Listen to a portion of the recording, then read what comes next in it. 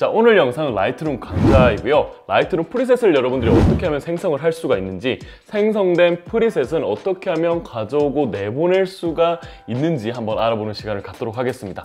보너스로 만들어 놓은 프리셋은 우리가 갖고 있는 이런 태블릿 PC와 스마트폰에서 라이트룸을 활용할 수가 있는데 이름은 라이트룸 CC, 라이트룸 모바일이라는 어플리케이션 되겠습니다. 그 라이트룸 모바일에 어떻게 하면 우리 데스크탑에서 쓰고 있는 이 프리셋을 옮겨 놓을 수가 있는지에 대해서 한번 알아볼 시간을 갖도록 하겠습니다. 이번 영상을 만드는 이유가 있는데요. 제가 어제 굉장히 오랜 시간 고민 끝에 드디어 제가 굉장히 노력을 많이 해서 만들어 놓은 그 프리셋 공개를 하게 되었습니다. 공개하자마자 진짜 반응이 제가 예상했던 것보다 훨씬 더 많이 폭발적이었어요. 어, 많은 분들이 구매를 해주시고 또 후기도 남겨주시고 어, 많이들 또 연구의 일환으로 어, 활용을 해주시는 사진작가 분들도 많이 계시더라고요. 그래서 어, 다시 한번 이 영상을 빌어서 감사하다라는 말씀을 드리고요. 그리고 사진작가 분들이 제 프리셋을 구매한 부분도 많았지만 어, 일반적으로 초보자분들이 또 프리셋을 많이 구매를 하셨는데 그런 분들은 어떤 식으로 프리셋을 넣을 수가 있는지 어떻게 하면 모바일에서는 활용을 할 수가 있는지 많이들 여쭤보시더라고요. 그래서 그런 물음에 대한 일환으로 이번 영상이 제작됨을 한번 알려드리면서 바로 한번 시작을 해보도록 하겠습니다. 자 화면으로 보시면 라이트룸이 이렇게 켜져 있는 상태에서 우선은 제가 어제 출시한 그 프리셋을 한번 먹여볼 텐데요. 이 프리셋의 어, 특 장점은 모든 카메라 브랜드를 활용할 수 있게 제작이 되었고 모든 상황에서도 여러분들이 되게 예쁘게 활용할 수가 있다는 특징이 있는 프리셋 되겠습니다. 자 어쨌든 이런 수치값을 여러분들만의 고유의 그런 보정값을 넣었다 라고 했을 때 사전 설정 만들기 눌러주시고요. 자, 그 다음에 우리 이들만의 프리셋이라는 가명을 한번 지어서 만들기 버튼을 눌러보도록 할게요. 자, 만드실 때 주의하실 점은 여기 변환이라든지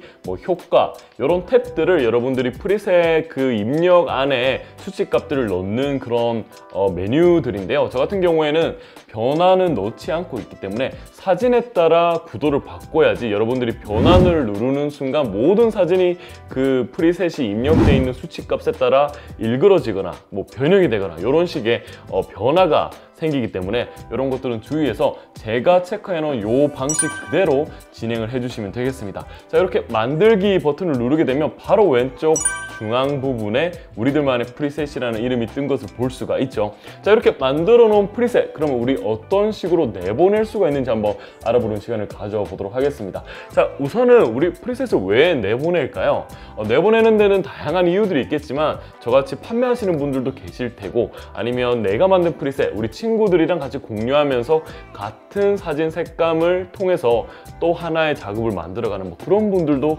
계실 거라고 생각이 됩니다. 여러분들만의 그런 이유 이유에 따라서 내보내기를 하시는 두 가지 방법이 있는데요. 첫 번째 탐색기로 표시를 눌러주시면 이 프리셋이 들어가 있는 폴더로 이동을 하게 됩니다. 그래서 이 프리셋을 여러분들이 복사해서 여러분들이 이동하고 싶은 폴더 안에 그냥 붙여넣기를 간단하게 해주시면 되고요. 자, 두 번째 방법은 내보내기가 따로 있죠. 그래서 내보내기 누르시고 난 다음에 여러분들이 원하는 폴더에 어, 검색창을 열고 그냥 이름을 다시 만드시든지 아니면 우리들만의 프리셋으로 활용을 하시든지 해서 그냥 저장만 눌러주시면 XMP라는 라이트룸 프리셋 그 확장자명의 파일이 생성되게 되는 거죠. 참 쉽죠? 자 이렇게 생성과 내보내기까지 한번 알아보았는데요. 이제는 가져오기를 한번 알아보는 시간을 갖도록 하겠습니다. 가져오기를 배워보기 위해서 여러분들 유튜브에 태용 작가 한번 눌러주시고요. 그 다음에 어, 채널을 들어가시고 영상에서 어, 제 제가 공개한 영상을 클릭을 해주시고 어, 예를 들어 여러분들에게 한번 보여드리는 거예요.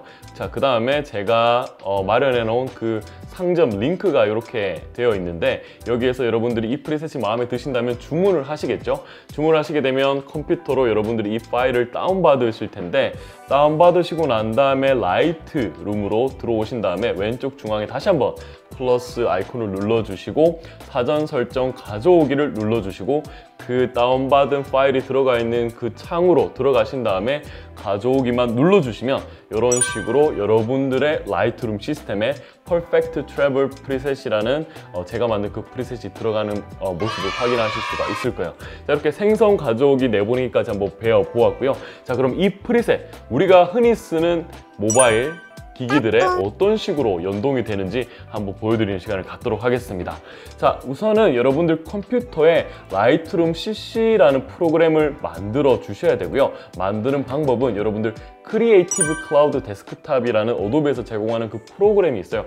해당 프로그램으로 모든 Adobe 프로그램들을 어, 중앙 관리할 수 있는 그런 프로그램인데 간단하게 Adobe 홈페이지에서 설치를 해주시면 되고요. 자 없으신 분들은 저처럼 이렇게 한번 보여드리는 시간을 갖도록 할게요. 우선은 제가 설치한 프로그램들 보시면 Photoshop 그리고 Lightroom, 뭐 Premiere Pro라든지 이런 게 있고 방금까지 제가 어, 강좌를 안내해드렸던 프로그램은 바로 Lightroom Classic 즉 데스크탑용 어, Lightroom 프로그램이고요. 지금 제가 알려드릴 이 Lightroom 모바일용은 그냥 Lightroom이라는 이름의 프로그램 되겠습니다. 정확하게 말씀드리자면 해당 프로그램은 Lightroom CC라는 이름을 갖고 있는 모바일용 프로그램 되겠습니다.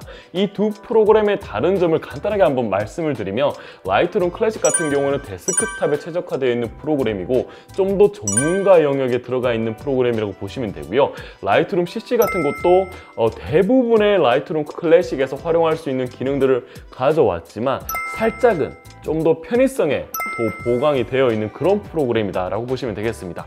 자 어쨌든 여러분들 Lightroom CC까지 설치를 해주시고 난 다음에 Lightroom CC를 이렇게 오픈하시게 되면 이런 식의 창이 뜨게 될 거예요. 그래서 단축키 D를 눌러주시면요. 어, 이렇게 창이 뜨게 되는데 이거는 이제 여러분들이 보정을 할 수 있는 그런 영역이라고 보시면 되겠습니다. 자, 그 다음에 오른쪽 상단에 이 아이콘, 편집 아이콘 눌러주시고요. 그 다음에 사전 설정이라는 메뉴가 크게 있는데 이걸 또 한번 눌러주세요.